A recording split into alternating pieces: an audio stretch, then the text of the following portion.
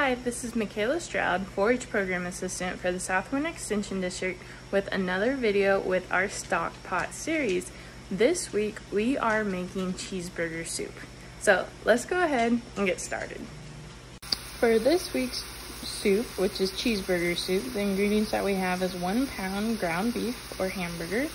We also have four tablespoons butter divided, three quarter cup chopped onion, 3 quarter cup shredded carrots, 3 quarter cup diced celery, 1 teaspoon dried basil, 1 teaspoon dried parsley, 1 and 3 quarter pounds, which is about 4 cups of cut cubed peeled potatoes, 3 cups of chicken broth, or I have one of the larger containers, a quarter cup all-purpose flour, 2 to 4 cups of shredded Velveeta. I'm using cube today, and depending on how cheesy you like your soup, if you use all four cups or just back it up to two. I'm using about two and a half, three this evening. One and one and a half cups whole milk, three quarter teaspoon salt, half teaspoon pepper, and to top it off, one quarter cup sour cream. To begin with, you need to put your ground beef into a skillet and brown it so there's no more pink. Then afterwards, we're gonna drain that to make sure that all the fat is off. Now, meanwhile, in my stock pot, I'm going to take the celery, onions, and carrots and put it over there for about 10 minutes over medium-high heat so it can get sauteed and nice and soft and good. Okay, it's been 10 minutes since our vegetables have been sauteed and they're soft and ready to go. So next we're going to add our ground beef, our parsley, basil, salt, um, our chicken stock, and also our potatoes.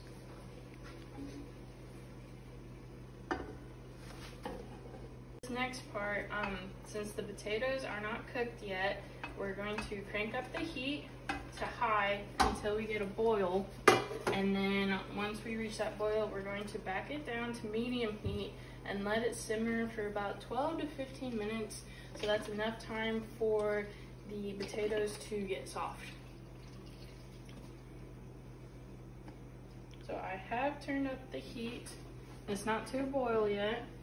But after I get our spices in here, just mix that around to make sure everything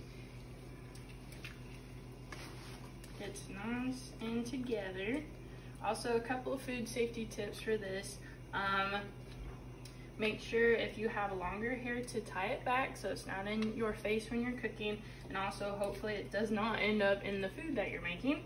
Also, um, be sure to wash your hands frequently.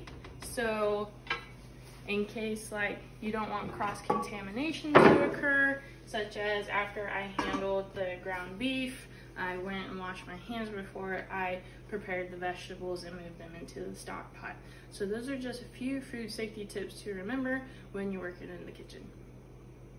As our stock pot that has our beef and vegetables and chicken stock is finishing up simmering for its time, we have butter from the beginning of the recipe where I just put in a glass, a measuring cup, and put it into the microwave for a few minutes till it's nice and hot and melting. Now we're going to take our quarter cup of flour and put it right into that butter, and we're just going to stir it as this is going to be our thickening agent or our roux to make our soup um, thicker than it currently is. So just make sure it's nice and hot, give it a good stir, and that is going to be the next part. I'm just going to directly add this into our pot. And so, try to make sure you get everything out. And I'm just going to stir that in to make everything familiar with each other and happy and just allow that butter and flour roux mixture begin to thicken all the liquids inside of there. I just added our pepper and our next steps is we are going to add the milk. And last but not least, we are going to add that cubed Velveeta cheese. and we're just gonna keep watching this over medium heat and stir it in and keep stirring and watching it to make sure that all that cubed Velveeta cheese gets melted. Once it is melted and everything is at the consistency that you would like, or if you'd like to add more cheese, this is the time to do it.